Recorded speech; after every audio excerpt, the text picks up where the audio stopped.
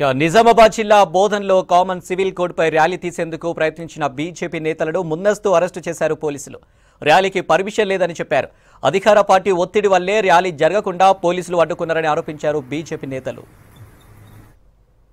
నాయకులందరం కలిసి యూసీసీని uniform civil code మరి ఒకటే దేశం ఒకటే చట్టం ఏదైతే భారతీయ జనతా పార్టీ కేంద్ర శాఖ పిలుపునిచ్చిందో అందులో భాగంగా మేము మీరు బోధనలో శాంతియుతంగా ర్యాలీ చేపట్టడానికి మేము సన్నద్ధమైతే మరి ఈరోజు అక్రమంగా పోలీసు మరి పొద్దున రాత్రంతా మమ్మల్ని గాలించి ఇంటింటికి తిరిగి మరి మమ్మల్ని ఒక తీవ్రవాదులుగా మరి రాత్రి ఐదు గంటలకు మమ్మల్ని అరెస్ట్ చేయడం జరిగింది.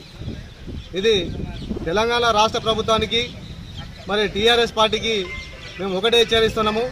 మేము అంతర్జాతీయ తీవ్రవాదులంగాము మేము భారతీయ జనతా పార్టీ కడుగట్టేటువంటి నాయకులము మా దేశాన్ని మేము కాపాడే నాయకులము మేము.